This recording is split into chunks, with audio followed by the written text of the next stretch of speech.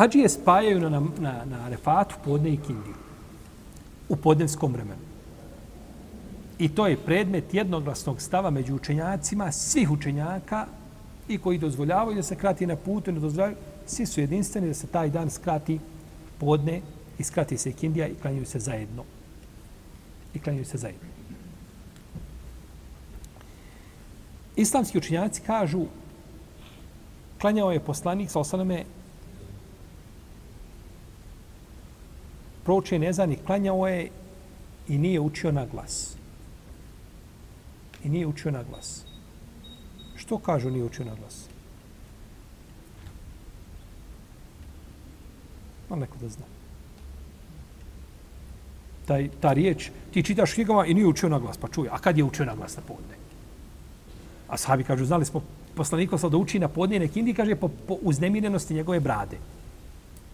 Znači da su ponekad okom znali, je li tako?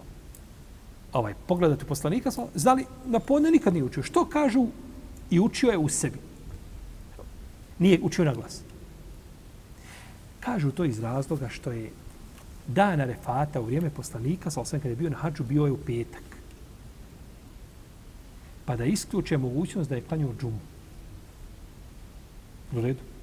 Jer ima razilaženje kod učinjacima. Taj dan, većina učenjaka kažu klanja se podne. Ima učenjaka koji kažu klanja se džuma. Nije došlo nigdje u hadisu jasno da je učio u sebi. To nije došlo, koliko znam da nema to u hadisu. Ali učenjaci kažu, nije prenešeno da je učio na glas. U protivom neko rekao da je učio poslanik i proučio je tom prilikom, ne znam, sebi Hismer Bekeleala i ovaj Surul Gaši i tako dalje. Pa kada kaže učio je u sebi, hoće kazati klanjao je šta? Podne, a bio je petak. I zato ispravno da se gore ne klanja. Nađeš se na, na mini, na, zatekneš se na mini, petkom, klanjaš dva rekiata podne i odmaraš. Nema džume. Nema na refatu šta? Džume. Jer je poslanik sam sam učio, odnosno nije prenešeno, nije prenešeno da je učio na glas.